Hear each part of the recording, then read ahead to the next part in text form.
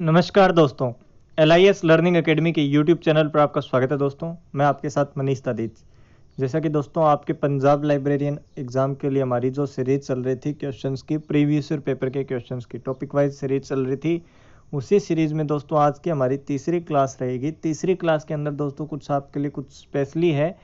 AIIMS librarian exam हुआ था दोस्तों, अक्टूबर 2017 के अंदर। उसके एग्ज़ाम के अंदर जो भी लाइब्रेरी एंड इंफॉर्मेशन साइंस के क्वेश्चन पूछे गए थे, उन सभी क्वेश्चन की हम बात करेंगे, जो जिसका मीडियम इंग्लिश में रहेगा और हिंदी में भी रहेगा दोस्तों। तो दोस्तों, अभी तक आपने पिछली दो क्लासेस नहीं देखी है तो क्लासेस को ज़रूर देख लें, क्योंकि दोनों क्लासेस के अंदर आपके यूनिट ए को कम्प्लीटली कवर कर दिया गया है। अब आने वाली हर क्लासेज आपके लिए बेहतरीन होगी दोस्तों, और अपने दोस्तों को सबको शेयर करना मत भूलिएगा दोस्तों। तो आज का हमारा पहला क्वेश्चन दोस्तों ए बिबिलियोग्राफिक पहला क्वेश्चन क्या है? कि a bibliographic database published by H W Wilson company कि a bibliographic database published by H W Wilson company that indexes about two two nine library and information science periodicals. Published internationally is known as, यानी H W Wilson company द्वारा प्रकाशित। क्या लिखा है कि H W company द्वारा प्रकाशित एक बिबिलियोग्राफिक डाटाबेस यहाँ दोस्तों बिबिलियोग्राफिक कर लेना। डाटाबेस जो अंतर्राष्ट्रीय स्तर पर दो सौ उनतीस पुस्तकालयों और सूचना विज्ञान पत्रिकाओं के बारे में अनुक्रमित है। तो दोस्तों H W Wilson company publication company है, बहुत बड़ी पब्लिकेशन कंपनी है। अधिकतर जो भी लाइब्रेरी साइंस के अंदर हम पढ़ेंगे जनरल्स पीरियोडिकल कौन प्रकाशित करता है तो लगभग एच डब्ल्यू विल्सन हुआ आर आर बौकर हुआ, यही उसके आंसर रहते हैं। तो अब बताइए कौन सा डाटाबेस है, जिसका प्रकाशित किया था एच डब्ल्यू विल्सन ने? और जो दो library and information science information science पत्रिका या जर्नल्स पीरियोडिकल के साथ बारे में बताती है। तो बताइए option number A library literature option A क्या है दोस्तों? ध्यान से देखना। ऑप्शन नंबर ए है आपका लाइब्रेरी लिटरेचर ये देखिए। Option number A option number A library literature option B library इंडेचर option C library indexer और ऑप्शन डी लाइब्रेरी कंपाइलोग्राफ। तो कौन सा डाटाबेस होगा दोस्तों, जो कि लाइब्रेरी साइंस के दो सौ उनतीस पुस्तकालयों और सूचना विज्ञान पत्रिकाओं के बारे में अनुक्रमित है। किसका प्रकाशन है? एच डब्ल्यू विल्सन कंपनी का। तो दोस्तों, इसका राइट आंसर होगा आपका लाइब्रेरी लिटरेचर क्या होगा? लाइब्रेरी लिटरेचर है जो एच डब्ल्यू विल्सन कंपनी द्वारा प्रकाशित ऐसा डाटाबेस है जो इंटरनेशनल लेवल पे, यानी अंतर्राष्ट्रीय स्तर पर प्रकाशित है और दो सौ उनतीस पुस्तकालयों और सूचना विज्ञान पत्रिकाओं के बारे में अनुक्रमित है या उनके बारे में बताता है दोस्तों। क्लियर नेक्स्ट क्वेश्चन हमारा। अगला क्वेश्चन दोस्तों आपके सामने next question copyright grant under Indian copyright law grants is applicable for time period time period तो बताइए कि भारतीय कॉपीराइट कानून है, जो अधिनियम है, वो अनुदान के अंतर्गत दी जाने वाली कॉपीराइट किस अवधि तक मान्य है कि इंडियन कॉपीराइट है, उसका अवधि कितनी है, टाइम पीरियड उसका कितना है दोस्तों? Option A, sixty five years after the book is published, forty years after the book is published, sixty year after the death of the author, और twenty years after the death of the author. तो बताइए दोस्तों, इसका right right answer क्या होगा? तो आपको बताना चाहूँगा, भारतीय कॉपीराइट जो अधिनियम है, वो 1957 में बना। 1957 में बना। इसमें भारतीय कॉपीराइट एक्ट आई सी ए समझ सकते हैं। इसी को आई सी ए समझना इंटरनेशनल कॉपीराइट एक्ट यानी विश्व स्तर पर। जब यह इंडियन कॉपीराइट एक्ट है, उसके तहत क्या होता है? कोई भी ऑथर अपनी पत्रिका प्रकाशित करता है दोस्तों तो जब तक उस ऑथर की मृत्यु ना हो जाए प्लस साठ वर्ष ना हो जाए, तब तक वो कॉपीराइट ऑथर के अधीन रहेगा, यानी लेखक की मृत्यु के साठ वर्ष तक। और इंटरनेशनल पे क्या रहता है? लेखक की मृत्यु के सत्तर वर्ष तक, दोस्तों सेवेंटी ईयर तक, ये याद रखना है। इंडियन की बात आ जाए तो ऑथर की मृत्यु के साठ साल तक, और इंटरनेशनल स्तर पर आ जाए तो दोस्तों, सत्तर वर्ष तक। तो इसका राइट आंसर क्या होगा हमारा? ऑप्शन नंबर होगा, दोस्तों थ्री कि 60 years after the death of author, लेखक की मृत्यु के 60 साल बाद तक इंडियन कॉपीराइट जो लॉ है, उसका अधिनियम है जो उसका टाइम पीरियड रहता है दोस्तों। लेखक के अधीन उसको अनुदान ग्रांट रहता है, हक रहता है, उसका संरक्षण रहता है दोस्तों। क्लियर नेक्स्ट क्वेश्चन हमारा। नेक्स्ट क्वेश्चन क्या है? अगला क्वेश्चन कि three main elements of information transfer concern with collection development are कि संग्रह विकास से संबंधित सूचना हस्तांतरण के तीन मुख्य तत्व हैं। इंफॉर्मेशन ट्रांसफ़र के दोस्तों कलेक्शन के लिए कितने तीन कौन कौन से थ्री एलिमेंट्स है? ऑप्शन ए है आइडेंटिफिकेशन ऑप्शन ए क्या है आपका दोस्तों? देखना ध्यान से। Option A identification procurement and dissemination option B weeding out identification procurement और option three identification acquisition weeding out और option four identification selection and acquisition तो दोस्तों, याद रखना इसका राइट right आंसर क्या होगा? ऑप्शन नंबर आपका डी कि आइडेंटिफिकेशन करेंगे सबसे पहले सूचना भेजने के लिए, फिर सिलेक्शन करेंगे कौन सी सूचना सही है फिर उस सूचना को अधिग्रहण करेंगे, प्राप्त करेंगे। तो पहचान, चयन और अधिग्रहण तीन मुख्य तत्व हैं संग्रह, विकास से संबंधित इंफॉर्मेशन ट्रांसफ़र के, यानी three main elements of information transfer concerned with collection development are कौन कौन से? आइडेंटिफिकेशन सिलेक्शन एंड एक्विशन पहचान, चयन और अधिग्रहण। क्लियर दोस्तों? नेक्स्ट क्वेश्चन हमारा, अगला question. Which of these organisation pioneered the concept of universal bibliographic control universal bibliographic control यानी यूबीसी कि कौन सा ऑर्गेनाइजेशन है जो पाइनर्ड कंसेप्ट तैयार किया था यूबीसी का? तो इनमें से कौन सा संगठन यूनिवर्सल बिबिलियोग्राफिक कंट्रोल की अवधारणा का प्रणेता है तो दोस्तों, पहली जो टेस्ट सीरीज़ रही थी, पहली हमारी क्लास रही थी, उसमें मैंने यूनेस्को टॉपिक से संबंधित ये क्वेश्चन आया था। तो क्या था इसका आंसर यूनेस्को से संबंधित इफ्ला से संबंधित एएलए से संबंधित जो ऑर्गेनाइजेशन एसोसिएशन करवाए थे, उसमें बताया था। तो याद बताया था तो आप बताइए क्या उसका राइट आंसर होगा? यूनिसिस्ट क्या इफ्ला क्या ए या एफआईडी तो याद रखना, जब यूबीसी आ जाता है यूनिवर्सल बिबिलियोग्राफिक कंट्रोल तो याद रखना इफ्ला क्या याद रखोगे? इफ्ला दोस्तों क्लियर नेक्स्ट क्वेश्चन हमारा अगला question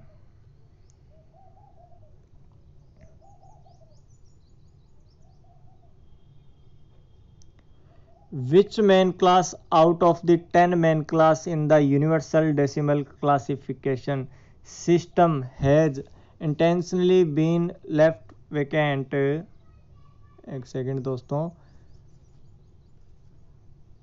Vacant to incorporate the classification of books that would be return on a subject that lies future and is yet to be discovered यानी यूनिवर्सल डेसीमल वर्गीकरण पद्धति है, आपको पता है U D C library classification scheme है। में दस मुख्य श्रेणियों में किसे भविष्य में खोजे जाने वाले विषयों पर लिखी गई पुस्तकों के वर्गीकरण के लिहाज से फ़िलहाल खाली छोड़ दिया गया है कि जो यूडीसी की क्लासिफिकेशन स्कीम है दोस्तों, इसकी बुक होती है, आपको पता है यूडीसी की। तो यूडीसी की बुक क्या है? कहीं स्थान पे खाली जगह छोड़ दी गई है, ठीक है? यानी कुछ नया जैसे जैसे नए नए लिटरेचर आ रहे हैं नए नए सब्जेक्ट का विकास हो रहा है दोस्तों तो आने वाला कोई भी भविष्य में कोई भी वर्गीकरण, कोई पुस्तक का होता है तो वहाँ उनको स्थान दे देंगे। इसीलिए खाली रखा गया खाली स्थान छोड़ा गया तो ये खाली स्थान यूटीसी में कुल दस मेन क्लासेस दस मुख्य श्रेणियों में बांटा गया है। एक ठीक है? तो उनमें से, दस में से कौन सी श्रेणी है जिसको खाली छोड़ा गया है? हमें ये बताना है दोस्तों। तो ध्यान रखना, कौन सा होगा इसका right answer option number B option number B यानी फोर्थ कि जो चौथा मेन क्लास है, जो मुख्य वर्ग है यूडीसी का, मुख्य श्रेणी है उसको खाली छोड़ा गया है फॉर फ्यूचर बुक्स ठीक है दोस्तों, याद रखना ये किसके लिए? यूडीसी से रिलेटेड है ये universal decimal classification clear next question है दोस्तों in the Ranganathan.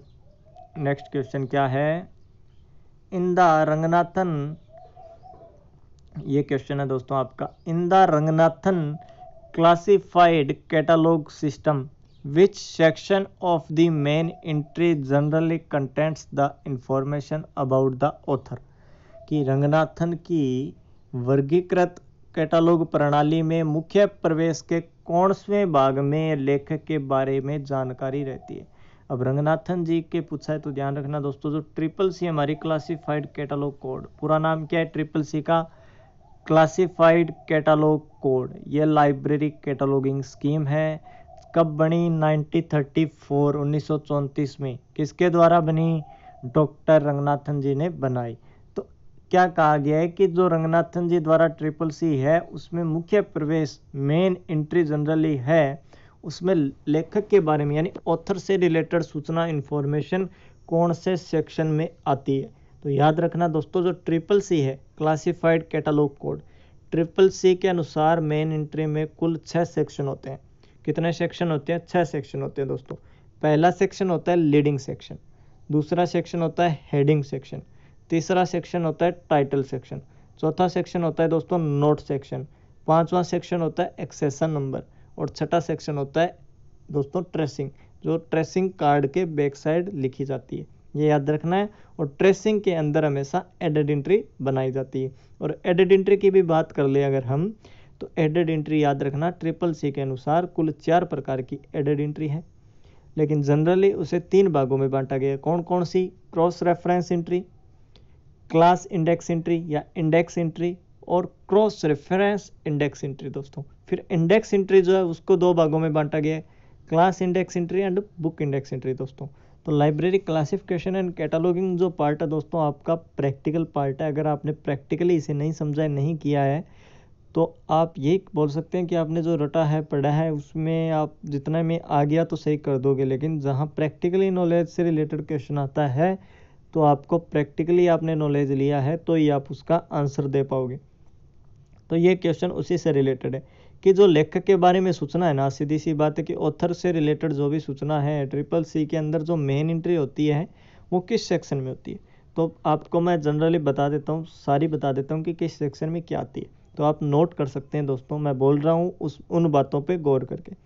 सबसे पहला सेक्शन होता है मेन एंट्री का लीडिंग सेक्शन लीडिंग सेक्शन में लिखा जाता है दोस्तों कॉल नंबर और कॉल नंबर को लिखते हैं हमेशा पेंसिल से। ये बात आपको याद रखनी है।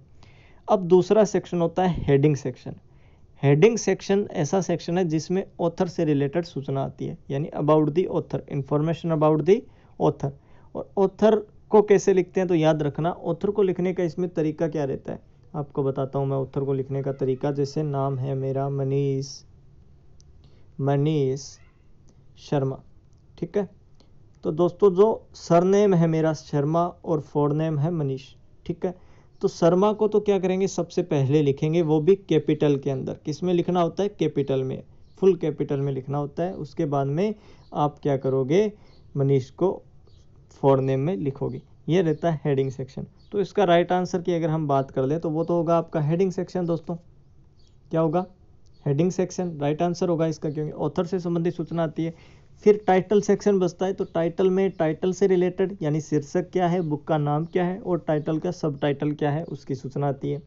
नोट सेक्शन है नोट में कुछ अदर इन्फॉर्मेशन रहती है, जो कोई अन्य सेक्शन में नहीं लिखी जाती तो वो नोट सेक्शन में लिख देते हैं। एक्सेसन नंबर, हर बुक का एक्सेसन नंबर दिया गया होता है दोस्तों। एक्सेसन सेक्शन में उस, वही आता है। फ़िलहाल बात रही छठा सेक्शन हमारा ट्रेसिंग। तो ट्रेसिंग हमेशा कार्ड के बैक साइड बनेंगे ये याद रखना है।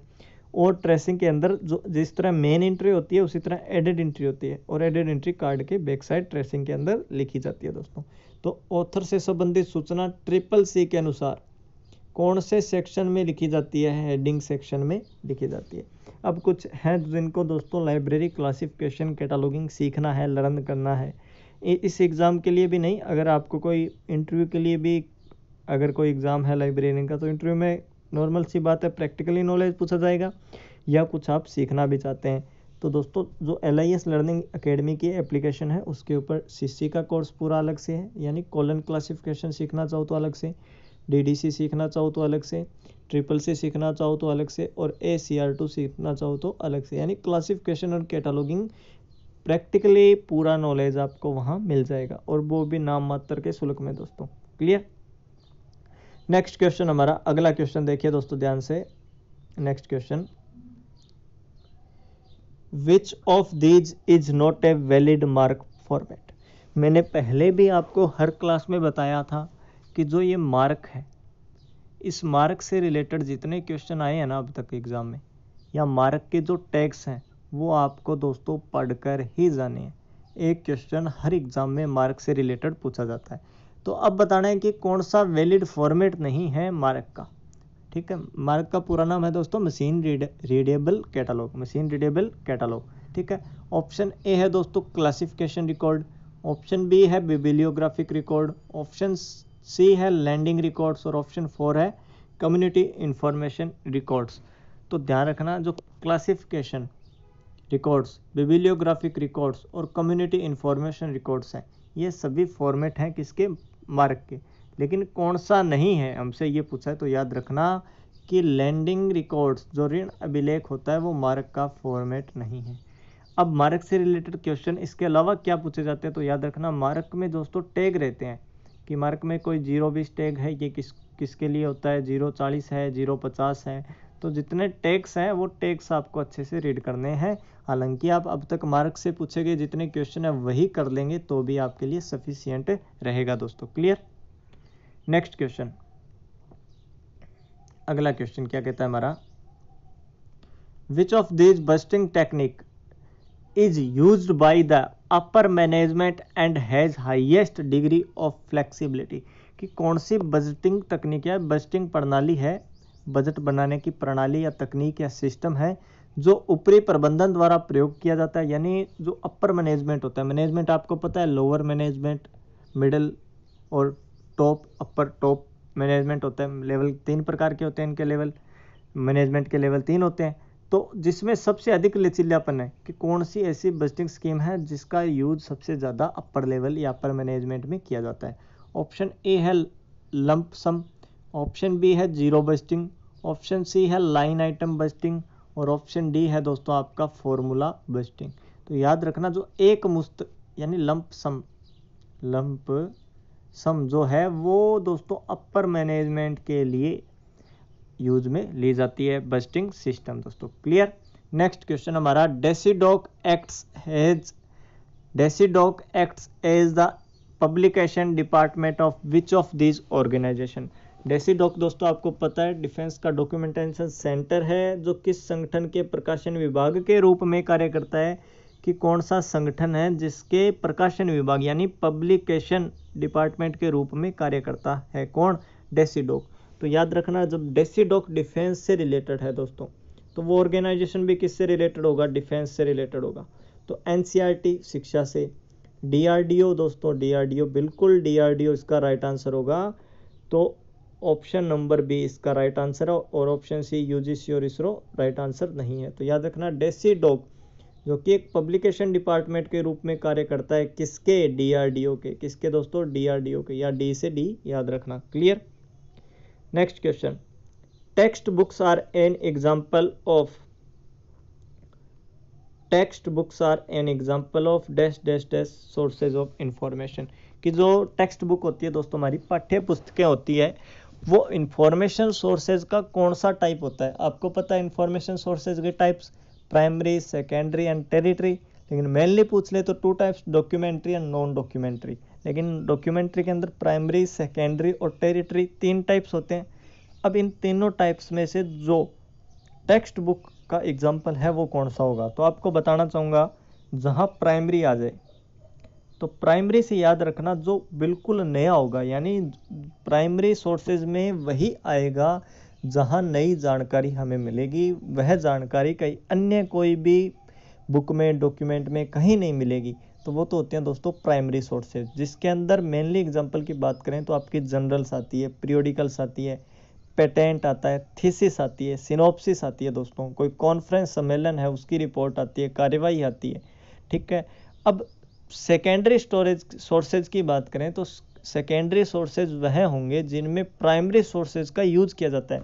यानी कुछ न कुछ नया पहले से जोड़ा गया होता है। अब पाठ्य पुस्तक है पाठ्य पुस्तक दोस्तों टेक्स्ट बुक है, वो एक साथ तो बन नहीं सकती कि नया ज्ञान तो कहीं से आ नहीं सकता। वो कहीं न तो कहीं से लिया हुआ है, या कुछ ना कुछ यूज़ होता है तो प्राइमरी सोर्सेज से मिलकर ही सेकेंडरी सोर्सेज बनते हैं। और जो प्राइमरी और सेकेंडरी सोर्सेज दोनों से मिलकर बनते हैं, वो हो गए आपके टेरिटरी सोर्सेज टेरिटरी सोर्सेज में दोस्तों चार पाँच एग्ज़ाम्पल है तो उनको अच्छे से पढ़ लोगे तो सेकेंडरी के सभी पढ़ने की ज़रूरत नहीं है। तो याद रखना, जो टेक्स्ट बुक है आपकी, वो टेक्स्ट बुक दोस्तों सेकेंडरी सोर्सेज होती है। सेकेंडरी इंफॉर्मेशन सोर्सेज के अंतर्गत आता है सेकेंडरी या टेक्स्ट बुक टेक्स्ट बुक किसका एग्ज़ाम्पल होगा? सेकेंडरी सोर्सेज का इंफॉर्मेशन ऑफ़ सोर्सेज के अंदर दोस्तों। क्लियर अब नेक्स्ट क्वेश्चन की हमारी बात करें। The delivery of books act was passed in which year कि जो डिलीवरी ऑफ़ बुक एक्ट है, वो कौन से साल या कौन से ईयर के अंदर पारित हुआ था? तो option A 1949 option B 1954 option C 1957 और ऑप्शन फोर 1959 तो बताना चाहूँगा, डिलीवरी ऑफ़ बुक्स एक्ट जो है आपका दोस्तों, वो उन्नीस में बना। कब बना? उन्नीस में बना। इस अधिनियम के तहत क्या था? जब कोई लेखक कोई भी पुस्तक बनाएगा, लिखेगा, प्रकाशित करेगा ना तो उसकी चार कॉपी अलग अलग चार डिपोजिटरी लाइब्रेरी में सबमिट करवाना निःशुल्क फ्री। ऑफ़ कॉस्ट दोस्तों, आवश्यक होगा। और वो चार डिपोजिटरी लाइब्रेरी कौन कौन सी है? एक तो होगी दोस्ती नेशनल लाइब्रेरी ऑफ़ इंडिया। दूसरी होगी कौनमेरा पब्लिक लाइब्रेरी चेन्नई। तीसरी होगी एशियाटिक सोसाइटी लाइब्रेरी मुंबई। और पांचवी होगी दिल्ली पब्लिक लाइब्रेरी। ये चार लाइब्रेरी है दोस्तों। जिसमें क्या था कि हमें उन्नीस डिलीवरी ऑफ़ बुक एक्ट अधिनियम के तहत पूरी कोई भी बुक्स है, वो उसकी जमा करवानी थी। लेकिन इसी उन्नीस में जो डिलीवरी ऑफ़ बुक्स एक्ट बना, इसमें उन्नीस के अंदर दोस्तों 1956 के अंदर संशोधन किया गया, यानी रिवाइजड आया। तो उसमें क्या हुआ? उसमें याद रखना, जो 1956 में आया था ना, कि पहले ये था कि बुक्स, कोई भी बुक्स निकलती है, प्रकाशित होती है तो उसकी कॉपी जमा करवानी आवश्यक थी। लेकिन 1956 में क्या हुआ दोस्तों? जनरल्स जो पत्रिकाएँ होती है न्यूज़पेपर होते हैं, उनको भी ऐड कर दिया गया। यानी इनकी भी एक एक कॉपी चार डिपोजिटरी लाइब्रेरी में सबमिट करवाना आवश्यक होगा दोस्तों। ये था हमारा डिलीवरी ऑफ़ बुक्स एक्ट उन्नीस में बना, संशोधन उन्नीस सौ छप्पन में, और चार डिपोजिटरी लाइब्रेरी चार डिपोजिटरी लाइब्रेरी कौन कौन सी? National library of India Asiatic society library Mumbai Connemara public library Chennai और Delhi public library Delhi clear दोस्तों? Next question which of these is not a division of Indian national bibliography index तो आपके पूरा topic दिया गया है दोस्तों I&B और बीएनबी तो आईएनबी और जो बीएनबी है ना, उनको अच्छे से पढ़ लेना आप। ये क्वेश्चन क्या कहता है कि इनमें से कौन सा भारतीय राष्ट्रीय पुस्तकालय सूचकांक का प्रकार नहीं है? कि भारतीय राष्ट्रीय सूचकांक जो है इंडियन नेशनल बिबिलियोग्राफिक इंडेक्स उसका प्रकार नहीं है, ये बताना है। ऑप्शन है title index option B subject index, option C author index और ऑप्शन डी क्लासिफाइड इंडेक्स। तो याद रखना जो सब्जेक्ट है, जो सब्जेक्ट इंडेक्स है, जो ऑथर इंडेक्स है और जो क्लासिफाइड यानी वर्गीकृत है, ये तीनों ही प्रकार हैं, लेकिन जो टाइटल इंडेक्स है, ये प्रकार नहीं है। तो राइट ऑप्शन क्या होगा? Title index. तो कौन सा भारतीय राष्ट्रीय पुस्तकालय सूचकांक का प्रकार नहीं है दोस्तों? तो कौन सा प्रकार नहीं होगा? टाइटल नहीं होगा। अब पूछ ले कौन कौन सा प्रकार है तो सब्जेक्ट इंडेक्स भी है ऑथर इंडेक्स भी है और क्लासिफाइड इंडेक्स भी है दोस्तों क्लियर नेक्स्ट क्वेश्चन इस टाइप के क्वेश्चन आने वाले हैं दोस्तों एग्ज़ाम में, क्योंकि ये देख आपके सामने एग्ज़ाम है, ऐसे ही क्वेश्चन आपके सामने आएँगे। Which of these state is expect from the delivery of books public library act उन्नीस कि जो उन्नीस डिलीवरी ऑफ़ बुक्स एक्ट बना है, उसमें कौन सा राज्य है जिसको छूट दी गई है, जो उसमें शामिल नहीं है? तो दोस्तों, याद रखना, option A Nagaland, option B Jammu Kashmir, option C Goa और ऑप्शन डी अरुणाचल प्रदेश। तो जम्मू एंड कश्मीर जो है ना दोस्तों, वो उसको क्या है? डिलीवरी ऑफ़ बुक्स एक्ट 1954 के तहत छूट दी गई है दोस्तों। ठीक है? क्लियर? अगला क्वेश्चन हमारा। Khuda Bakhsh oriental library is situated in which Indian city कि Khuda Bakhsh oriental public library है दोस्तों ये। अब पूछा है कि ये जो पब्लिक लाइब्रेरी है, ये भारत में कहाँ स्थित है? कौन से शहर में स्थित है? तो ऑप्शन ए है दोस्तों पटना। ऑप्शन बी है भोपाल। ऑप्शन सी है लखनऊ और ऑप्शन डी है भुवनेश्वर। तो आपको जैसा कि पता है, बहुत बार ये क्वेश्चन करवाया गया है। और फिर भी दोस्तों आप कंसेप्ट ऑफ़ लाइब्रेरी की जो छः क्लासेज है आप यूट्यूब चैनल पे देखेंगे तो वो अगर छः क्लासेज आप लगा लेते हो तो आपके लिए दोस्तों वो कारगर ही साबित होगी, क्योंकि कंसेप्ट अगर आपका अच्छे से क्लियर है तो कोई भी क्वेश्चन आ जाए, आप कॉमन सेंस में भी उसका यूज़ करके आप उसका आंसर दे सकते हैं दोस्तों। तो खुदा बख्श जो ओरिएंटल पब्लिक लाइब्रेरी है, वो बनी तो थी 1895 में। किसके द्वारा बनाई गई? खुदा बख्श मौलवी। मौलवी थे खुदा बख्श उनके द्वारा और कहाँ स्थित है? पटना के अंदर। कहाँ स्थित है? पटना के अंदर। तो right option option A Patna. Clear दोस्तों? नेक्स्ट क्वेश्चन हमारा। What is the name of this software package developed by NISSAT in collaboration with DESIDOC in collaboration with DESIDOC for automation of house keeping and service function of libraries कि निषाद द्वारा डेसीडोक के साथ साझेदारी में बनाए गए पुस्तकालयों के गृह व्यवस्था एवं सेवा कार्यों के शौचालय के लिए बनाए गए सॉफ्टवेयर पैकेज का क्या नाम है? कि निसात ने तो बनाया था, लेकिन कोलब्रेशन उसका किसमें रहा था? डेसीडोग का। तो वो डेसीडोग ने जो बनाया था ना, वो किसके लिए बनाया था? ऑटोमेशन हाउसकीपिंग और फ़ंक्शंस ऑफ़ लाइब्रेरी सर्विसेज़ के लिए। तो वो सॉफ्टवेयर कौन सा था? Option A Dhruv option B Sambhav option C Utsav और ऑप्शन डी संजय तो याद रखना दोस्तों निशात ने तो बनाया था, किसकी सहायता से बनाया था डेसीडोग की सहायता से वो सॉफ्टवेयर कौन सा है? संजय। तो याद रखना दोस्तों, आपके सॉफ्टवेयर टॉपिक है ऑटोमेशन आपका टॉपिक है तो उससे संबंधित क्वेश्चन ऐसे आने वाले हैं, जो कि आपके सामने हैं दोस्तों। क्लियर थोड़ा लैंग्वेज को समझना दोस्तों, ठीक है? कॉमन सेंस से करना, हालाँकि आप इंग्लिश जब रीड करोगे क्वेश्चन की तो आपको क्वेश्चन समझ में आ जाएगा, जितनी रीजनल लैंग्वेज में नहीं आएगा जितना आप इंग्लिश यूज़ करोगे तो आ जाएगा दोस्तों आपके clear select the standard size of catalogue card used in a library catalogue entry जहाँ बनती है दोस्तों, एक बुक की डिटेल जहाँ लिखी जाती है, हम कैटलॉगिंग लाइब्रेरी कैटलॉगिंग प्रैक्टिकल करते हैं। वो किस कार्ड में करते हैं, वो कार्ड होता है कैटलॉग कार्ड अब पूछा है, जो कैटलॉग कार्ड है ना उपयोग करने वाला, उसका स्टैंडर्ड साइज़ क्या होता है, आकार क्या होता है? तो आपके सामने एक, सबसे पहले तो मैं बना देता हूँ दोस्तों कैटलॉग कार्ड कैसा होता है। ये याद रखना, ऐसा कैटलॉग कार्ड होगा आपका। ये एक लाइन ये होती है फ़र्स्ट वर्टिकल ये दूसरी होती है सेकंड वर्टिकल और ये होती है लीडिंग लाइन और यहाँ बीच में होता है दोस्तों होल यानी छिद्र।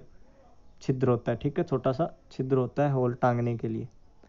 ठीक है? याद रखना, ऐसा कैटालॉग कार्ड होता है। इसके साइज़ की बात करें तो इसका साइज़ होता है दोस्तों पाँच इंटू तीन। ये तो हो गया इंच के अंदर।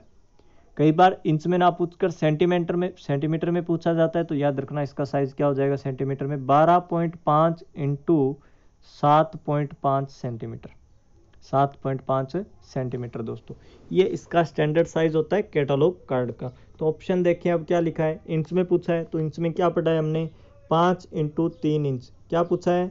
पाँच इंटू तीन इंच है ऑप्शन में, और हमने भी क्या पढ़ा है? फाइव इंटू थ्री इंच होता है कैटलॉग कार्ड का आकार। ठीक है दोस्तों क्लियर अगला question Dublin core can be best defined as है कि डबलिन कोड जो है ना दोस्तों, वो सबसे स्टिक व्याख्या है। तो याद रखना, पूरा नाम ऐसे याद रखना है आपको Dublin core metadata Dublin core metadata अब मेटा डाटा देख लो, आप ऑप्शन में कहाँ दिया गया है? तो मेटा डाटा सीधा मिलता है ऑप्शन नंबर फोर के अंदर, यानी अधि आंकड़ा मानक। तो ये क्या है? एक मेटा डाटा स्टैंडर्ड है दोस्तों। ऑप्शन नंबर फोर इसका राइट आंसर होगा। Dublin core Meta data standard ये वर्ड ही याद रखना है आपको कि डिफाइंड एज है सबसे अच्छी व्याख्या क्या हो सकती है डुबलिन कोर की? मेटा डाटा स्टैंडर्ड आदि आंकड़ा मानक। दोस्तों क्लियर नेक्स्ट क्वेश्चन हमारा, अगला question as per Indian library association the entire country has been divided into how many administrative zones ये हमने पढ़ा भी था। कि जो भारतीय पुस्तकालय एसोसिएशन है, आईएलए है, वो आईएलए अपने पूरे देश के अनुसार प्रशासनिक कितने जोन में विभाजित है तो वो कितने थे दोस्तों? छः जोन। कौन, कितने जोन थे? छः जोन थे। कितने जोन? छः जोन में विभाजित है भारतीय पुस्तकालय एसोसिएशन के अनुसार, जो हमने पहले पढ़ा है। अगला दोस्तों क्वेश्चन ऑन विच ऑफ़ क्या है question on which of these library of these railway station did A H Wheeler and co private company open its first book store कि इनमें से किस रेलवे स्टेशन पर A H Wheeler and corporate private limited ने अपना पहला book store खोला था? देखो दोस्तों, इस प्रकार के भी क्वेश्चन एग्ज़ाम में आए हुए हैं।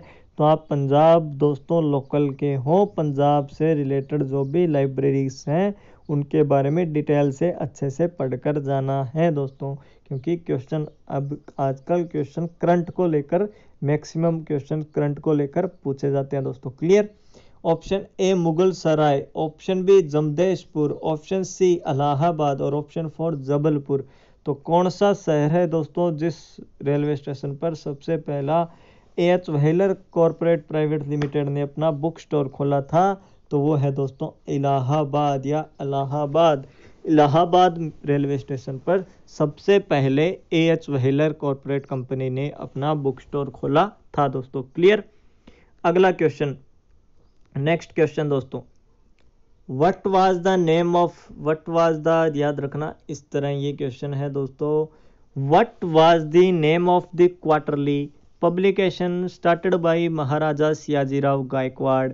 Of Baroda who is today fondly remembered as the father of Indian library movement कि बड़ौदा के महाराज सियाजीराव गायकवाड़ थे जो, जिन्हें आज भारतीय पुस्तकालय आंदोलन के पिता के रूप में याद किया जाता है, के द्वारा शुरू की गई त्रैमासिक, यानी क्वार्टरली, पब्लिकेशन का नाम क्या है?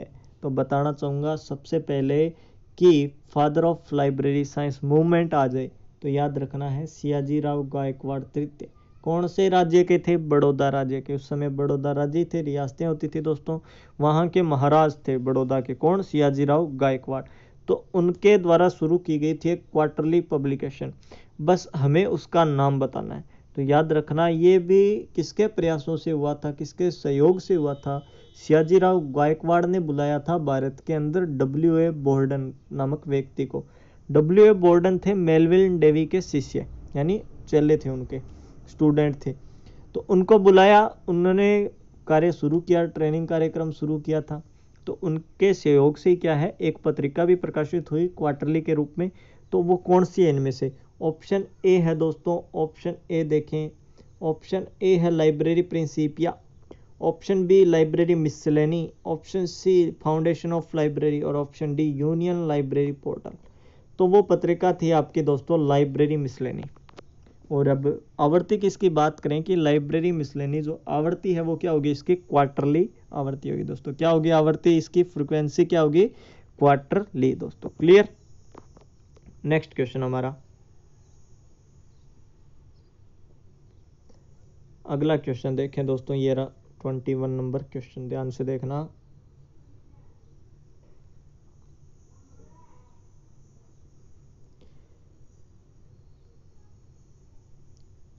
ट्वेंटी वन नंबर क्वेश्चन दोस्तों, कि according to the main Dewey decimal classification system यानी DDC the books belonging to the natural science and mathematics are classified under the numerical range अब डीडीसी दोस्तों क्या है?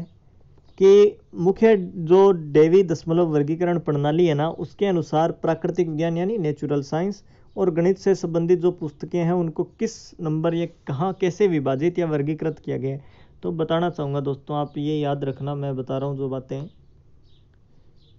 कि जो डी है डीडीसी यानी ड्यू डेसिमल क्लासिफिकेशन ये लाइब्रेरी क्लासिफिकेशन की स्कीम है। इसके अंदर क्या है, मुख्य वर्ग यानी विषय जो विषयों को मुख्य वर्गों में बांटा गया है मेन क्लास में बांटा गया है, वो बांटा गया है ज़ीरो ज़ीरो से लेकर नाइन नाइन तक। ज़ीरो ज़ीरो से लेकर नाइन नाइन तक बांटा गया। अब इनमें से क्या है ऐसे होता है? Zero zero, one, zero zero, two, ऐसे सीरीज़ चलती है। कहाँ तक? नाइन नाइन नाइन तक।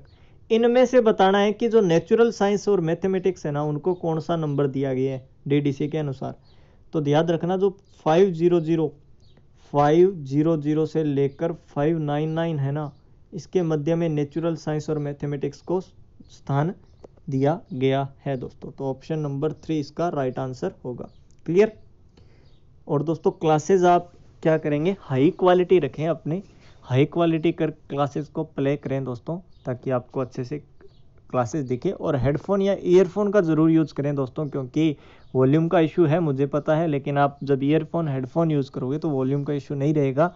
जितनी वॉल्यूम की ज़रूरत है दोस्तों, वो आपको मिलती रहेगी। क्लियर अगला क्वेश्चन है select correct kinds of modes of formation of subject for the topic astrophysics astrophysics दोस्तों सब्जेक्ट है, जिसे खगोल भौतिकी बोला जाता है। वो विषयों के प्रकारों में से किस श्रेणी में आता है? तो याद रखना विषय दोस्तों formation of subject formation of subject यानी विषय का निर्माण कैसे होता है, इसकी बहुत सारी विधियाँ हैं दोस्तों।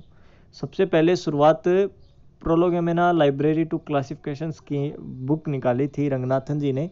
उसमें कुछ विधियों का उल्लेख किया था। फिर धीरे धीरे एनियल मैगन उनके साथी जुड़े। उन्होंने भी एक दो विधियों का और फॉर्मेशन ऑफ़ सब्जेक्ट की विधियों का निर्माण किया।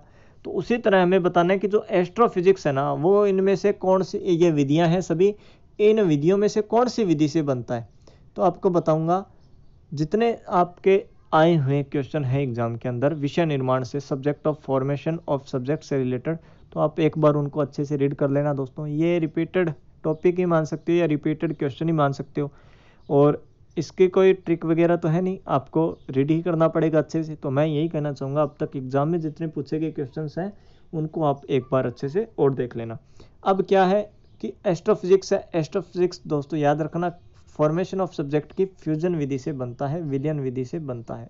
क्लियर ऑप्शन नंबर दो इसका राइट आंसर होगा फ्यूजन या विलियन। क्लियर नेक्स्ट क्वेश्चन दोस्तों हमारा, अगला question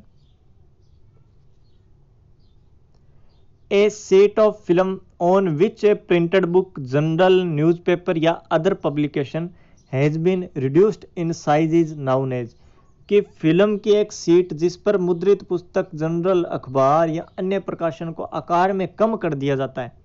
ठीक है? तो उसे क्या बोला जाता है? ये क्या जाना जाता है? उसे किस रूप में जाना जाता है? Option A micro libre option B microform option C micro biblio option D microfiche. तो बताओ दोस्तों, क्या इसका राइट आंसर होगा कि a sheet of film on which a printed book journal newspaper या other publication has been reduced in size is known as क्या right answer होगा इसका दोस्तों? बताइए, क्या राइट आंसर होगा इसका?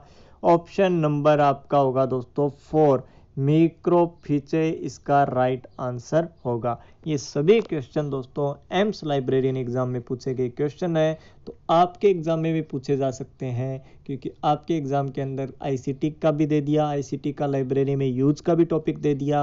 आपके जो कंप्यूटर के बेसिक्स होते हैं, वो भी टॉपिक्स हैं। सब लगभग पूरे टॉपिक्स को कवर किया गया है तो कोई से भी टॉपिक से क्वेश्चन बन सकता है। इसलिए आज की क्लास में मैं आपके लिए मिक्सर क्वेश्चन लाया था, ताकि आपको अपनी तैयारी कैसी है, उसका लगभग पता लग जाए। और आने वाले दोस्तों, आपको बताया था, कुछ दिन का ही इंतज़ार कर लीजिए। क्लासेज भी बढ़ा दी जाएगी, सभी टॉपिक भी कवर करवा दिए जाएँगे। अगर सब कुछ सही रहा तो दोस्तों क्लियर रिस्पॉन्स आपका बहुत अच्छा मिल रहा है। उसमें कोई दोस्तों, मैं आपके कोई भी गलती नहीं मान रहा हूँ। अच्छे से क्लासेस आप हर ग्रुप में क्लासेस को शेयर करते हो क्लासेस को लाइक भी कर रहे हो क्लासेस को अच्छे से देख भी रहे हो दोस्तों। इसीलिए आपके लिए क्लासेस बनाई जा रही है दोस्तों। अब अगले क्वेश्चन की हम बात करें। Which of these Indian states have not pass a public library legislation for own state कि इनमें से कौन से राज्य ने अपने स्वयं के राज्य के लिए सार्वजनिक पुस्तकालय कानून पारित नहीं किया है दोस्तों?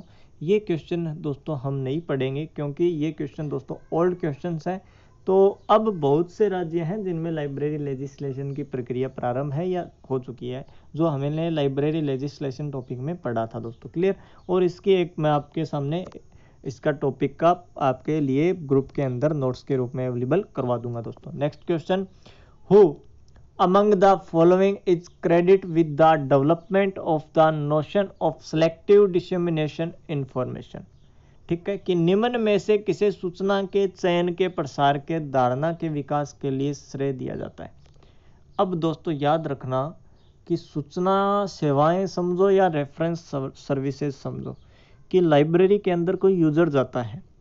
अब उस यूज़र को जो है जानकारी या जो भी सूचना चाहिए, वो सूचना कितने समय में मिलती है दोस्तों? समय किसी में कम लगता है, किसी में ज़्यादा लगता है?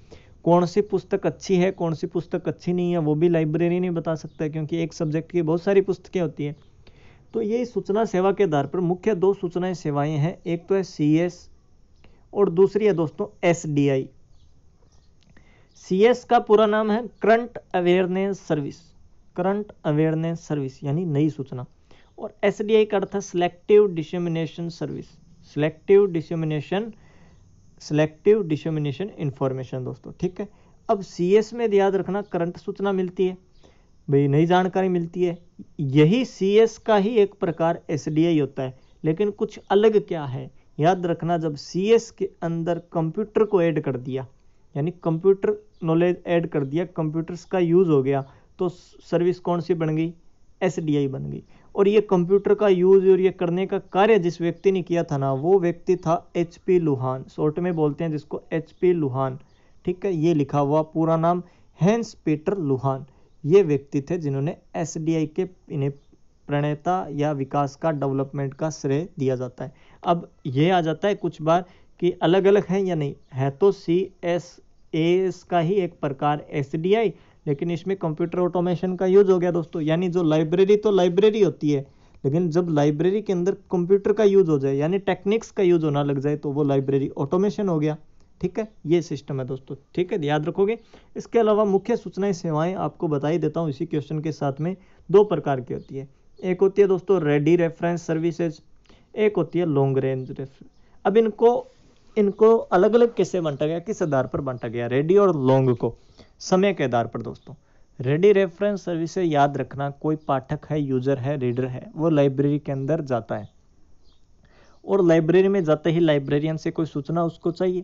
तो वो बोलता है, सर, मुझे फिजिक्स का ये टॉपिक है, इस टॉपिक के बारे में कोई बुक बताइए, जिस बुक में ये टॉपिक मिल जाएगा।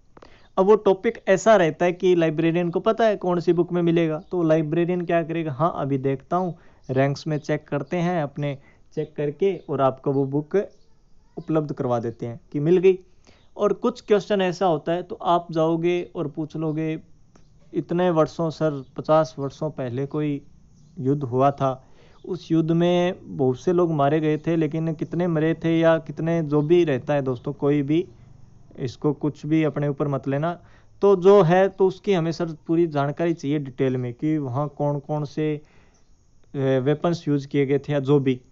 तो अब लाइब्रेरियन दोस्तों, वो तो उसका आंसर नहीं दे पाएगा। तो वो लाइब्रेरियन क्या समय मांगेगा कि उस स्पेसिफिक बुक होगी उस वॉर की जहाँ लिखा गया है? या कोई भी सूचना ऐसी है जो तुरंत प्रभाव से वो जानकारी नहीं दे पाता? तो वो क्या करेगा? समय लेगा। और वो समय देकर बोलेगा कि इतने टाइम बाद वो बुक मंगवा देंगे, आप वो बुक से पढ़ लेंगे या जो भी जानकारी है मैं मैं भी मेरे स्तर पर पता करके आपको बता दूँगा। यानी याद रखना, जब ज़ीरो मिनट से, यानी ज़ीरो सेकंड से लेकर पाँच मिनट के मध्य अगर कोई सूचना उपलब्ध हो जाए तो वो तो है रेडी रेफरेंस सर्विसेज़ और पाँच मिनट से कई सप्ताह लग जाए वीक लग जाए दोस्तों, ठीक है? तो वो सर्विसेज़ कौन सी है? लॉन्ग रेंज सर्विसेज़ ठीक है? लॉन्ग रेफरेंस सर्विसेज़ तो ये दोनों अलग अलग हैं सी एस एस डी भी अलग अलग है रेडी और लॉन्ग अलग अलग है. लेकिन पूछ ले रेफरेंस सर्विसेज़ के टाइप पूछ ले तो आप रेडी और लॉन्ग दो में विभाजित करेंगे दोस्तों, ठीक है? जिसमें कम से कम समय लगता है वो रेडी और जिसमें थोड़ा अधिक समय लगता है वो लॉन्ग रेंज सर्विसेज़ दोस्तों क्लियर और एस के हमने देख लिया कि डेवलपमेंट का श्रेय किसको जाता है? हैंस पीटर लुहान को। और एस कैसे बनी, ये भी मैंने आपको बता दिया दोस्तों क्लियर अगला question what type of intellectual property is the swoosh symbol displayed by Nike company on all its goods and products. कि जो नाइक कंपनी है दोस्तों, आपको पता है कितनी बड़ी कंपनी है, ने अपने द्वारा सभी वस्तुओं और उत्पादों पर प्रदर्शित सूस, एक प्रतीक है, आपको पता है उसका सिंबल है, वो किस बौद्धिक संपदा की श्रेणी में आता है। तो याद रखना दोस्तों, जो लिखते हैं, कोई अपनी रचना करता है, वो तो आ गया हमारे कॉपीराइट के अंडर। कोई विकास कोई आविष्कार करता है, कोई खोज करता है तो वो हो गया पेटेंट क्लियर अब आपने देखा होगा अलग अलग कंपनी है अलग अलग कंपनी का अलग अलग लोगो होता है। और उसी लोगो को बोलते हैं दोस्तों ट्रेडमार्क ठीक है, यानी बिज़नेस ट्रेड को ध्यान रखना बिज़नेस में आ जाएगा ट्रेड तो ट्रेडमार्क है जो एक लोगो है, हर कंपनी का अलग अलग होता है, जैसे एलआईएस लर्निंग अकेडमी का अलग है। इसके अलावा और भी कोई अकेडमी है तो उसका अलग है। कोई कंपनी है, उसका भी अलग है। तो जो ये टैग होता है, जो सिंबल होता है हर एक कंपनी का, वो आईपीआर के तहत किस श्रेणी में आता है तो याद रखना वो आता है आपका ट्रेडमार्क के तहत। अब ट्रेडमार्क एक्ट कब बना, ये आप कमेंट बॉक्स में आंसर देंगे दोस्तों कि ट्रेडमार्क एक्ट कब बना। क्लियर ट्रेडमार्क अगला क्वेश्चन सेंट्रल रेफरेंस लाइब्रेरी यानी सीआरएल कोलकाता में है। Is subordinate office of the की केंद्रीय संदर्भ पुस्तकालय सीआरएल कोलकाता डैश डैश के अधीनस्थ एक कार्यालय है, कि सेंट्रल रेफरेंस जो लाइब्रेरी है कोलकाता के अंदर। ठीक है दोस्तों, उन्नीस सौ सत्तावन में स्थापना हुई थी सीआरएल तो ये किस ऑफ़िस के अंडर आ जाता है? इसके अंडर कौन सा अधीनस्थ एक कार्यालय है? ऑप्शन ए आईएसआई यानी इंडियन स्टेटिस्टिकल इंस्टीट्यूट, जो कि बेंगलोर में स्थित है। Option B ministry of human resources development, government of India. Option C IIT Kharagpur, option four ministry of culture government of India और ऑप्शन फाइव क्लासिफाइड इंडेक्स तो इसका right answer होगा ministry of culture government of India clear दोस्तों? अगला question question को दोस्तों अच्छे से पढ़ना. Which of the following is not true यानी कौन सा सच नहीं है? Not true with regard to the E Granthalaya. E Granthalaya आपको पता है, एक लाइब्रेरी ऑटोमेशन सॉफ्टवेयर है। A library automation software from national information centre किसके द्वारा बनाया गया? निक के द्वारा बनाया गया। आपको पता है Granthalaya national information centre department of information technology के अंदर आता है और ministry of communication and information technology के आता है। इसके बारे में कौन सा कथन या कौन सा सेंटेंस है, संबंध जो सत्य नहीं है? तो ऑप्शन ए है हमारा। ऑप्शन ए देखें दोस्तों कि it is free of cost for the government, कि यह सरकार के लिए निःशुल्क है। ऑप्शन दो, the software can be implemented either in stand alone या इन क्लाइंट सर्वर मोड, कि सॉफ्टवेयर है या तो एकल है या क्लाइंट सर्वर मोड में लागू किया जा सकता है। Option number C, it can easily integrate to system working on different operating system यह विभिन्न ऑपरेटिंग सिस्टम पर काम कर रहे दो सिस्टम को आसानी से एकीकृत कर सकता है। और ऑप्शन फोर है none of these is fail यानी इनमें से हमें गलत बताना है। अब जो सही है, वो उसका क्या हो जाएगा? उसकी विशेषता हो जाएगी। तो जो गलत क्या है दोस्तों? गलत है ऑप्शन नंबर तीन कि it can easily integrated to systems working on different operating system यह इसका गलत आंसर है। ई ग्रंथालय सॉफ्टवेयर दोस्तों, जो स्कूल की लाइब्रेरी होती है, लगभग उन्हीं लाइब्रेरी में उपलब्ध करवाया जाता है, जो निक नेशनल इंफॉर्मेटिंग सेंटर द्वारा बनाया गया है। राजस्थान में जो लाइब्रेरीज है, लगभग मॉडल स्कूलों में लाइब्रेरी है, वहाँ ई ग्रंथालय सॉफ्टवेयर ही अवेलेबल है दोस्तों, ठीक है? तो कौन कौन सी विशेषता है इसकी? वो ऑप्शन वन और ऑप्शन टू इसकी विशेषता हो जाएगी और ऑप्शन तीन इसका गलत आंसर हो जाएगा दोस्तों, ठीक है? वैसे राइट होगा, लेकिन जो सत्य नहीं है। अगला क्वेश्चन दोस्तों which of these is not an open source library management software हमें यह बताना है कि इनमें से कौन सा मुक्त या मुफ़्त स्रोत पुस्तकालय प्रबंधन सॉफ्टवेयर नहीं है?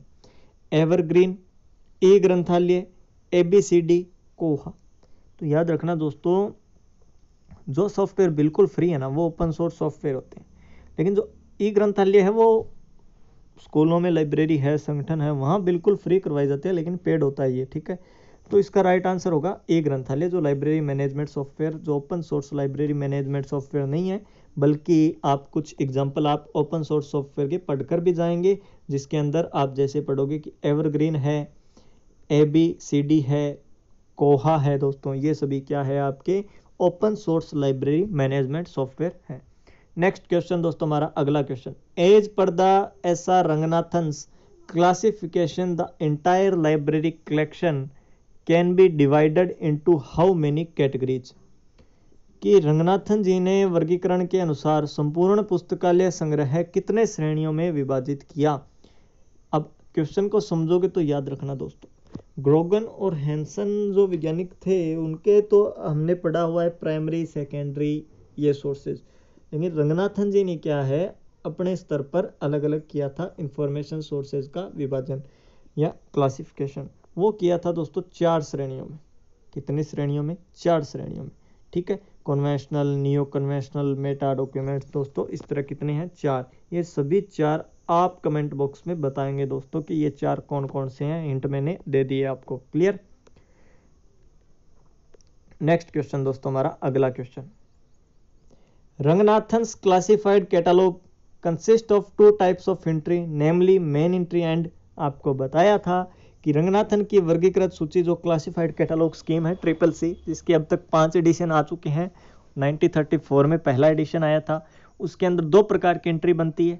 एक होती है मेन एंट्री वो हमें बता दिया। अब पूछ रहा है डैश डैश डैश एंट्री दूसरी एंट्री कौन सी है? तो मैंने अच्छे से आपको एंट्री पहले क्वेश्चन आया था, उसमें बताया हुआ था।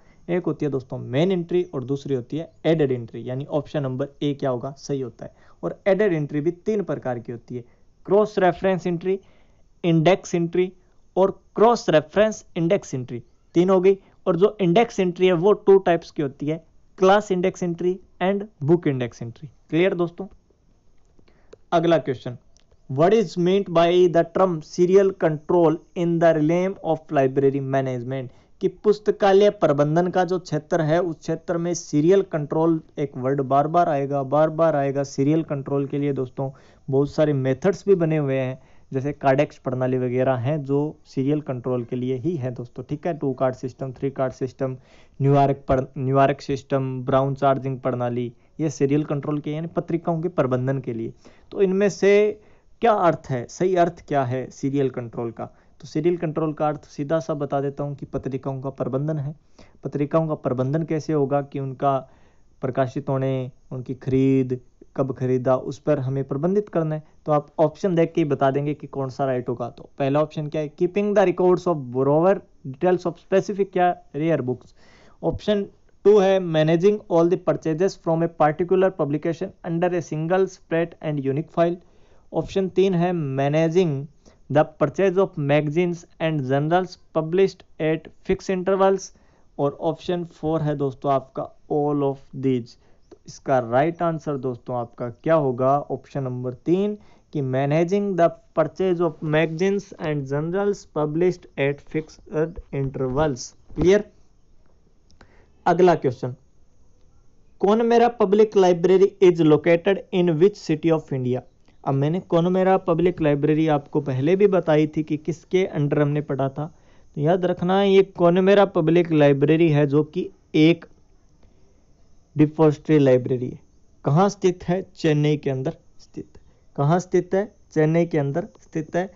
अब कब बनी, ये आप कमेंट बॉक्स में बताएँगे दोस्तों। कब बनी? ऑप्शन आपके सामने ऑप्शन भी मैं दे देता हूँ। एक ऑप्शन आता है 1804 और एक ऑप्शन है आपके सामने 1891 अब इनमें से बताना है कि इसका राइट आंसर क्या होगा। आप बताओगे कमेंट बॉक्स में दोस्तों। क्लियर अगला question what does the world encyclopedia means in Greek language की ग्रीक भाषा का एक शब्द है इंसाइक्लोपीडिया और इंसाइक्लोपीडिया शब्द का ग्रीक भाषा में मीन क्या है? अर्थ क्या है? ऑप्शन ए है दोस्तों आपका जनरल एजुकेशन ऑप्शन ए क्या है? General education option B return knowledge option C general knowledge option four return thoughts तो बताइए क्या होगा? एनसाइक्लोपीडिया जो है दोस्तों वर्ड जिसे विश्वकोश बोला जाता है, जो ग्रीक भाषा का शब्द है, और ग्रीक भाषा के ये किस इंसाइक्लोपीडिया है, इसे ग्रीक भाषा में क्या कहा जाता है या इसका अर्थ क्या है तो वो है सामान्य शिक्षा, यानी जनरल एजुकेशन सामान्य शिक्षा या जनरल एजुकेशन दोस्तों। नेक्स्ट क्वेश्चन हमारा दोस्तों, अगला question which of these identification numbers would indicate the exact location of a book in the library library के अंदर एग्जैक्ट पोजीशन की बुक कहाँ है? उसका स्थान बताने के लिए कौन सबसे सक्षम होता है? कौन सा आइडेंटिफिकेशन नंबर सबसे सक्षम होता है? तो option A call number option B indexer number option C accessor number और ऑप्शन डी बुक नंबर तो बताना चाहूँगा, जो यूनिक एक नंबर होता है, जिससे एग्जैक्ट लोकेशन बुक पता चलती है लाइब्रेरी में, वो है आपका कॉल नंबर क्या है? कॉल नंबर कॉल संख्या. ठीक है दोस्तों क्लियर अगला question two parts of annual report of the library are की पुस्तकालय है जो, उसकी एक एनुअल रिपोर्ट होती है कि एक वर्ष में क्या क्या कार्य हुआ कितना कार्य हुआ, कितना बजट लगा कौन कौन सी सर्विसेज़ हुई, ठीक है? उन सभी की चर्चा होती है एनुअल रिपोर्ट के अंदर। तो जो एनुअल रिपोर्ट है ना पुस्तकालय की, उसके दो भाग होते हैं। टू पार्ट्स में डिवाइडेड होती है तो वो टू पार्ट्स कौन कौन से होते हैं? Option A plan and ad hoc option B consolidated and partial option C descriptive and statistical option four primary and secondary अधिकतर कोई भी आता है दोस्तों, अधिकतर कोई भी रिपोर्ट आती है, कोई भी बुक्स का पूछ लेता है कि क्या बाघ उनके दो दो बाघ कौन कौन से हैं तो वो एक डिस्क्रिप्टिव होता है, एक स्टेटिस्टिकल होता है दोस्तों। डिस्क्रिप्टिव यानी मैटर लिखा होता है स्टेटिस्टिकल आंकड़ों द्वारा भी बताया होता है। तो आंकड़े भी दर्शाए होते हैं और थ्योरी भी लिखी होती है। तो दो भाग डिस्क्रिप्टिव एंड स्टेटिस्टिकल यानी वर्णात्मक और सांख्यांकिकीय भागों में पुस्तकालय की वार्षिक रिपोर्ट होती है दोस्तों। क्लियर नेक्स्ट क्वेश्चन कि DELNET is an example of which type of network कि डेल नेट किस प्रकार के नेटवर्क का एक उदाहरण है? तो बताना चाहूँगा दोस्तों, जो डेल नेट है, उसका पहले नाम क्या था? पहले नाम था दिल्ली लाइब्रेरी नेटवर्क। लेकिन अब प्रजेंट टाइम क्या नाम है? डेवलपिंग लाइब्रेरी नेटवर्क जब दिल्ली लाइब्रेरी नेटवर्क था, तब सोच सकते हैं कि यह भारत का था। यानी एक देश के लिए ही था नेटवर्क लेकिन जब नाम बदला इसका डेवलपिंग लाइब्रेरी नेटवर्क तो डेवलपिंग लाइब्रेरी नेटवर्क से संबंध याद रखना कि तीन टाइप्स के नेटवर्क है, मुख्य लेन मेन और वेन ठीक है? अब लेन तो दोस्तों आपको पता है, एक बंद कमरे में लैन केबल से जोड़कर जितना हो सकता है, जितनी उसकी रेंज होती है, उतना है। मेन मेट्रोपोलियन एरिया नेटवर्क यानी एक बड़ी बड़ी सीटियों से होता है, लेकिन वाइड एरिया नेटवर्क दोस्तों पूरे विश्व स्तर, अंतर्राष्ट्रीय स्तर पर नेटवर्क आपस में जोड़ सकता है। तो जो डी डेलनेट है, जो डेवलपिंग लाइब्रेरी नेटवर्क है, वो एक वाइड एरिया नेटवर्क का टाइप है। किसका? वाइड एरिया नेटवर्क का, यानी वैन का, दोस्तों। क्लियर? अगला question which of these Indian publication companies are primarily involve in producing material for competitive exams दोस्तों, ये क्वेश्चन कैसे भी पूछ सकते हैं, घुमा के ये क्वेश्चन कोई आपके लाइब्रेरियन इंफॉर्मेशन साइंस का क्वेश्चन नहीं है, ये थोड़ा कॉमन सेंस का क्वेश्चन है। और हालाँकि ये आंसर इसका सब दे देते हैं क्योंकि कम्पिटिटिव एग्ज़ाम की तैयारी सभी कर रहे हैं। ये पूछा है कि ऐसी कौन सी भारतीय कंपनी है, प्रकाशन करने वाली कंपनी है, जो प्रतियोगी परीक्षाओं के लिए किताबों का पब्लिकेशन करती है, सामग्री तैयार करती है। पहला ऑप्शन है Hachette India publication Hachette India publication दूसरा पुस्तक महल, तीसरा रैंडम हाउस इंडिया और चौथा एस संद आपने दोस्तों एस संद का नाम सुना होगा। एस चंद पब्लिकेशन ये इसका राइट आंसर है जो एग्ज़ाम में पूछा गया था। तो आपके भी पंजाब के अंदर कोई है, ऐसा कुछ है तो आप भी वहाँ अच्छे से थोड़ा पढ़ लेना। ठीक है? नेक्स्ट क्वेश्चन दोस्तों, और दो चार क्वेश्चन तो दोस्तों हर एक लाइब्रेरियन एग्ज़ाम में अलग से पूछे जाते हैं। ठीक है? अगला क्वेश्चन है displaying books on open shelves in library is a manifestations of which of these laws of library science कि लाइब्रेरी में खुली अलमारियों पर पुस्तकों को प्रदर्शित करना लाइब्रेरी विज्ञान के किस सिद्धांत की अभिव्यक्ति है? दोस्तों लाज ऑफ़ लाइब्रेरी साइंस कल ही आपको अच्छे से टॉपिक करवाया था और खुली अलमारियों पर प्रदर्शित करना, यानी ओपन एक्सेस सिस्टम भी था। तो बताया था दोस्तों मैंने क्या राइट आंसर होगा तो यहाँ ऑप्शन में first second third four five नहीं लिखा हुआ है, जबकि पूरा का पूरा नियम लिखा हुआ है। तो बताइए कौन सा होगा? Books for books are for use option B every option B है दोस्तों। Every reader must get his her book option C every book must find its reader और option four the library is a growing organism तो बताया था, दोस्तों, खुली सामग्री का मतलब है कि प्रत्येक कोई भी पाठक आता है या कोई भी पुस्तक है तो सामने अगर खुली प्रदर्शित हो रही है तो उसको कोई ना कोई पाठक देखेगा। पाठक देखेगा तो उसे पढ़ेगा, यानी उस बुक का यूज़ होगा। तो जब सामने रखेगा तभी होगा, बंद रखा हुआ तो नहीं होगा। तो इसीलिए ओपन एक्सेस सिस्टम से आप थोड़ा सेंटेंस बढ़ोगे ला का तो क्या होगा कि every book must find its user कि प्रत्येक पुस्तक को उसका पाठक मिलना चाहिए। यानी कोई भी पुस्तक ऐसी नहीं होनी चाहिए जिसका यूज़ नहीं हो रहा है लाइब्रेरी में, ठीक है? अगर यूज़ नहीं होता है तो आपको पता है पांचवा नियम लगेगा फिफ्थ ला लगेगा वेडिंग आउट कर देंगे राइट ऑफ़ कर देंगे दोस्तों। तो option number three every book must its find its reader ये इसका राइट आंसर होगा। अब ये बताओगे कि ये कौन सा नियम है, ये आप कमेंट बॉक्स में बताओगे दोस्तों। ठीक है? सबको पता है, फिर भी आप बताइए दोस्तों। क्लियर आज का हमारा दोस्तों फाइनल क्वेश्चन कि a dash dash dash a dash dash dash subject is a two phase subject and is shaped through the combination of two या मोरल विचुअल या कंपाउंड सब्जेक्ट्स कि विषय द्विचरण, विषय है जो दो महत्वपूर्ण युगों विषयों से मिलकर बना है। कि कौन से विषय का प्रकार होता है, प्रकार है जो कुछ दो या दो से अधिक विषयों से मिलकर बनता है। आपको पता है विषय तीन प्रकार के हैं मुख्य। ठीक है, मुख्य तीन प्रकार के विषय आपको पता है दोस्तों, सरल, जटिल और यौगिक। ठीक है, सरल, जटिल और यौगिक। तो हमें बताना है कि कौन सा विषय इसमें होगा। तो जो दो या दो से अधिक से मिलता है, वो होता है दोस्तों जटिल विषय, कौन सा? एंट्री सेट जटिल विषय। तो इसका राइट आंसर होगा दोस्तों जटिल विषय। तो आज की क्लास दोस्तों, आशा करता हूँ आपको अच्छे से समझ में आई होगी। आने वाली क्लासेस भी आपके लिए अवेलेबल रहेगी दोस्तों। प्रीवियस ईयर पेपर के क्वेश्चंस रहने वाले हैं। यूनिट वाइज भी रखेंगे, कुछ बार टॉपिक वाइज भी रखेंगे। तो आप दोस्तों निरंतर डेली क्लासेस ज्वाइन करते रहिए। पीछे की जो टेस्ट सीरीज़ रही है, वही क्लासेस आप लगा सकते हैं। आपके लिए बेनिफिशियल रहने वाली है। तो और दोस्तों एलआईएस लर्निंग अकेडमी के साथ बने रहिए। बहुत बहुत धन्यवाद दोस्तों।